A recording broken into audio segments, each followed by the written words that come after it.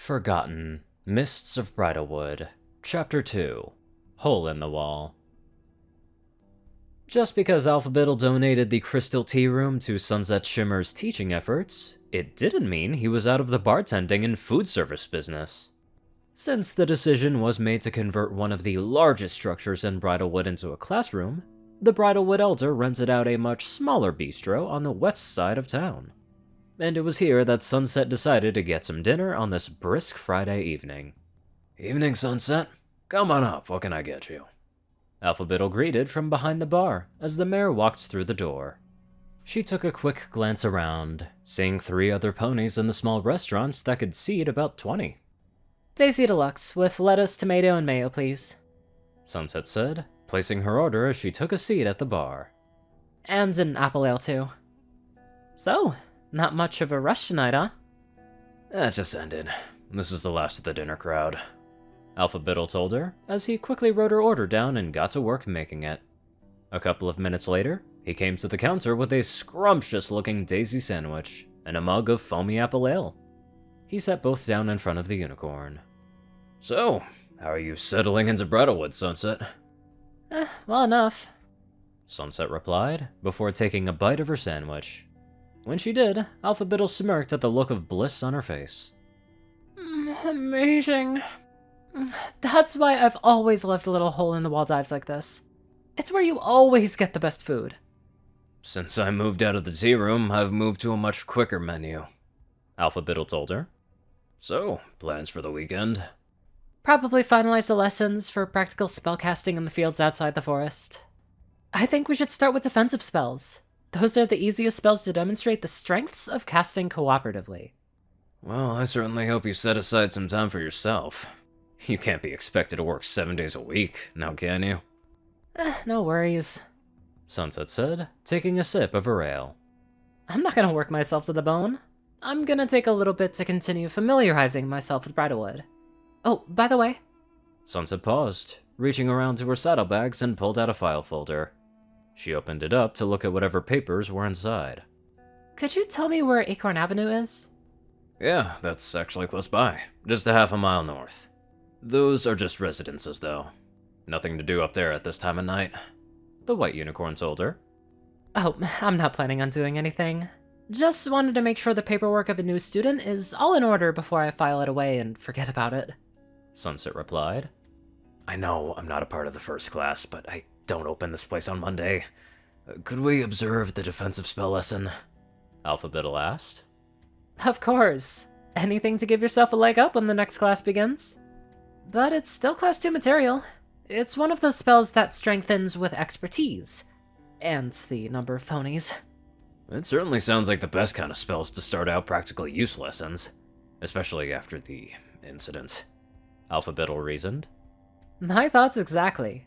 Have some defensive and protective spells learned and memorized before we move on to other types of spells.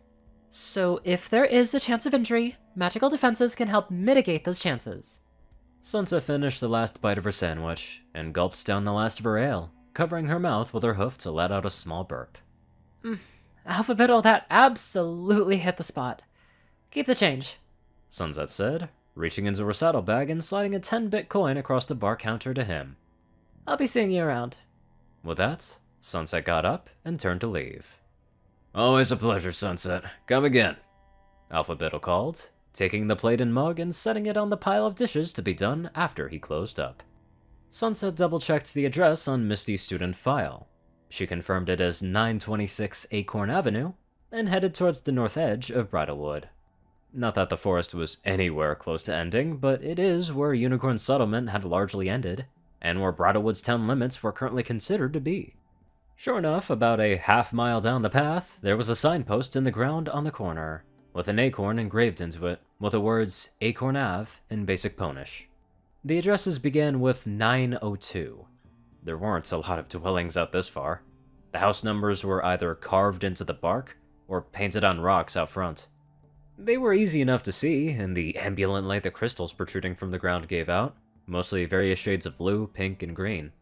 Sunset came to the end of the path, where there was just a single house on the right with the numbers 922 painted on a rock to the left of the path up to the door.